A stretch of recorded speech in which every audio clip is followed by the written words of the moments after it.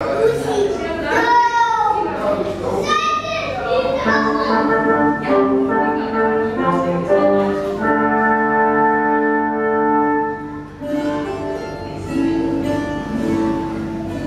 was eens een beeldschone prinses met een bijzondere naam, Sneeuwwitje. Haar moeder, de koningin, had haar die naam haar geboorte gegeven, omdat haar huid zo wit als sneeuw was en haar haar zo zwart daarna stierf de koningin. Op een dag hertrouwde de koning met een mooie vrouw van wie nog nooit iemand eerder had gehoord. Niemand wist dat deze mooie, maar valse koningin eigenlijk een lelijke heks was, die heel erg jaloers was op de schoonheid van Sneeuwwitje. Het volk moest haar aanbidden, dus zij moest de mooiste en de belangrijkste persoon in het land zijn en niet Sneeuwwitje. En daarom maakte zij steeds nieuwe toverdrankjes om er alsmaar nog mooier uit te zien. En zo kwam het dat ze elke dag voor haar toverspiegel stond en vroeg Spiegeltje, spiegeltje aan de wand, wie is de mooiste van het hele land? En steeds antwoordde de spiegel, Majesteit, zo mooi als is er geen. Iedere vrouw heeft dat het mooiste van iedereen. Maar Sneeuwwitje groeide op en werd met de dag mooier. Op een dag antwoordde de spiegel dan ook, O koningin, heel mooi bent u.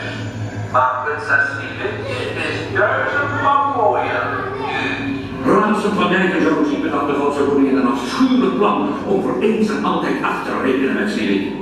Ze riep de jager bij zich en zei, ga op jacht in het woud met Sneeuwwitje. Dan laat je een ongeluk gebeuren waarbij Sneeuwwitje om het leven komt. Onmiddellijk daarna kom je terug om aan mij en de koning het priestdienst te melden.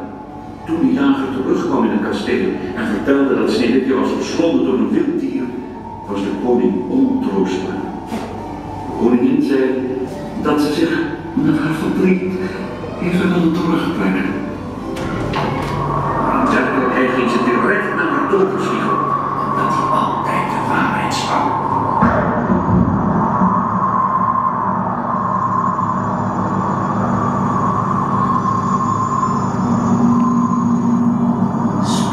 Spiegeltje, spiegeltje aan de wand.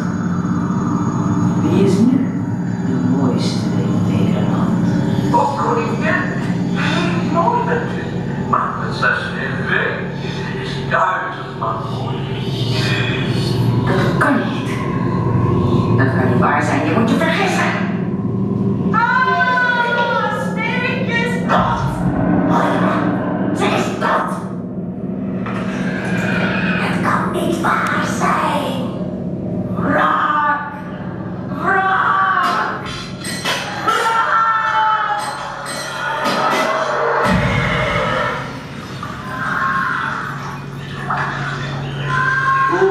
mensen buiten niets meer weten bij de werken.